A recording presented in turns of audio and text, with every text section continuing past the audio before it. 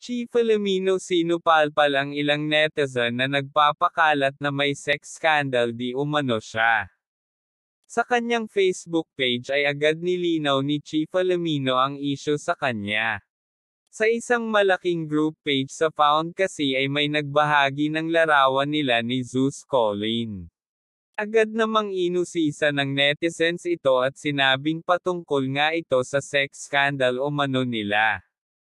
Sa isang malaking Facebook group ay nagbahagi ng litrato ang isang dummy account ng litrato ni Zeus Colin at Chief Filomeno. Mabilis tuloy na inusisa ng marami na patungkol daw sa sex scandal ang pinatutungkulan ng naturang dummy account.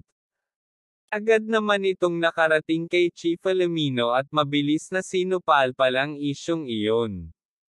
Sa kanyang Facebook page pa ay muling nagbahagi ng mensahe si Chi na hinamon pa ang naturang dummy account na ilabas ang nais nitong patungkulan sa kanyang post.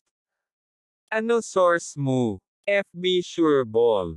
Pag sure oy kung totoo mga pinag-post nyo sa FB kung mag-uungkat kayo siguraduhin nyo totoo, huwag paulit-ulit at huwag kayo mangdamay ng ibang tao.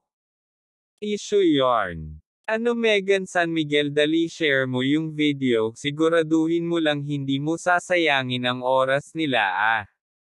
Lalo na oras ko. Dali send mo sa akin.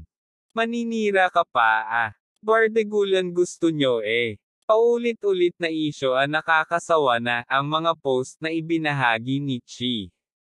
Kapansin-pansin naman na mula sa mga litrato ni Zeus at Chi ay pinalitan na ng dummy ang kanyang post at naglagay na lamang ng panibagong litrato na tila screenshot mula sa isang video at nakalagay sa litrato na parking lot vibes.